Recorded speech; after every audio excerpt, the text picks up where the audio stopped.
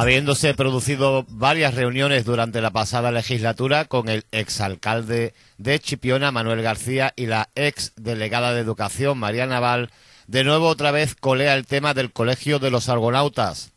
A tenor de lo que está ocurriendo con él, vemos claramente que este edificio, construido en terrenos municipales de La Laguna, se construyó con vistas electorales. Según se decía entonces, era la primera fase para el Colegio Los Argonautas. Dicho edificio, una vez recabada información, no consta en la Delegación de Educación como tal.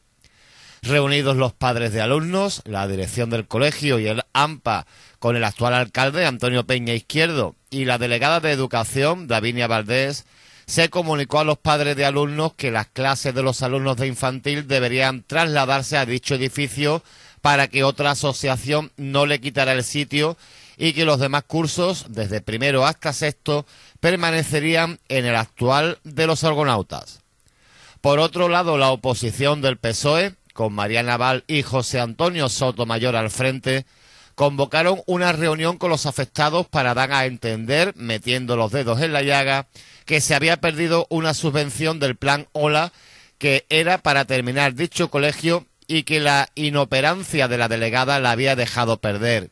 Preguntados a algunos padres que asistieron a dicha reunión y después de reiterárseles varias veces la pregunta, ¿está registrado el nuevo centro como centro educativo de primera fase en la Delegación de Educación? Contestó la representante del PSOE, María Naval, que no. Le respondieron los padres que entonces, ¿cómo se le iba a conceder una subvención si no constaba dicho proyecto en la Delegación de Educación? A lo que respondió el señor Sotomayor que se había hecho de una partida presupuestaria que había venido y se empleó para la construcción de dicho centro.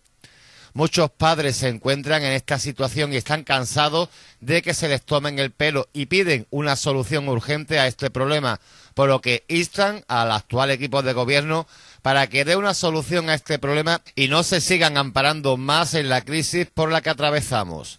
Los padres quieren ya una solución para estos niños que estudian en el centro Los Argonautas. Ante esta situación de indefensión de los padres de los niños de este centro escolar, el Partido Andalucista de Chipiona pide igualmente al equipo de gobierno busque una solución inmediata y justa para esta problemática.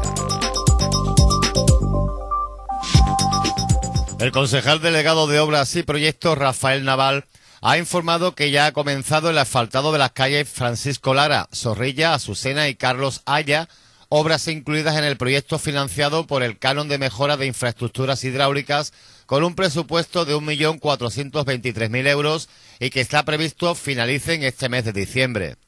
El concejal ha agradecido la paciencia de los vecinos y comerciantes ante estas obras por las molestias que suponen en pleno centro del municipio ha recordado la importancia de las mismas y la mejora que supone en los viales e infraestructuras hidráulicas.